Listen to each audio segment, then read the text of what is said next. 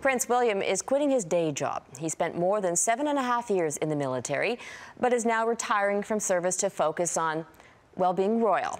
And he isn't wasting any time getting down to business. He and the Duchess of Cambridge stepped out for a charity gala tonight. The couple left two month old Prince George at home for the Tusk Conservation Awards. William is a patron to the African charity that focuses on wildlife conservation. Stuart Greer has more on the prince's next chapter. After flying 156 missions and saving more than 140 lives as a search and rescue pilot, Prince William is hanging up his wings. The Duke of Cambridge is leaving active military service, completing his last shift on Tuesday. He'll now focus on his charities. The one closest to his heart is wildlife conservation. In an excerpt from a new documentary, William talks about his passion to prevent the poaching of elephants and rhinos.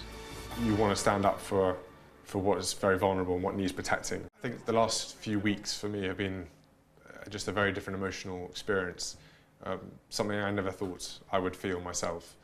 William is certainly more paternal and busy with the arrival of his son Prince George in July. But as future king, there is also pressure on him to take over more royal duties. Queen's now 87, Duke of Edinburgh's 92, hasn't been in the best of health. So the royals need William and, uh, and Kate and Harry, of course. I think it's time for uh, him to step up and uh, do some of those duties. But this will be a period of transition. And apart from a visit to Australia in the next year, don't expect William to dramatically raise his profile. One thing we mustn't expect is Prince William to end his career in the RAF and military duties and then all of a sudden be ploughing into three, 400 engagements a year as the Duke of Cambridge. I don't think that's going to happen. In the next few weeks, William and Kate will be swapping their cozy Welsh cottage near an RAF base for the regal confines of Kensington Palace. This was William's childhood home, and it's where the couple intends to raise baby George. And of course, once William and Kate settle into their new home, they may be tempted to expand their new family.